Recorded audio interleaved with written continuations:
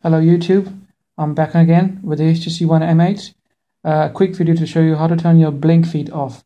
On the HTC One M7 from last year on the old Sense 5.5, uh, a lot of people complained and they said they couldn't turn the BlinkFeed off. So HTC has been very good, they've been listening to their customers and this time around on Sense 6 which comes with the HTC One M8, they have given you the option where you can take uh, the BlinkFeed off.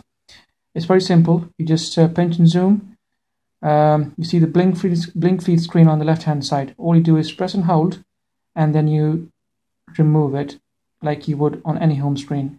There you go. So the BlinkFeed is gone. If you press the home button again, now you go to towards your left. See, you can't go left. That means the BlinkFeed is gone. Um, so this is an easy way of taking the BlinkFeed off. And this is only available at the moment on HTC One M8 Sense version 6. You can also bring it back if you wish to. Pinch again, uh, click on BlinkFeed and the BlinkFeed comes back on. Press the home button again, swipe towards your right and you see on the left hand side the BlinkFeed comes back in. So guys, hope this helps. Um, any questions, please do ask me in the comment section and I'll be more than happy to help. Thank you.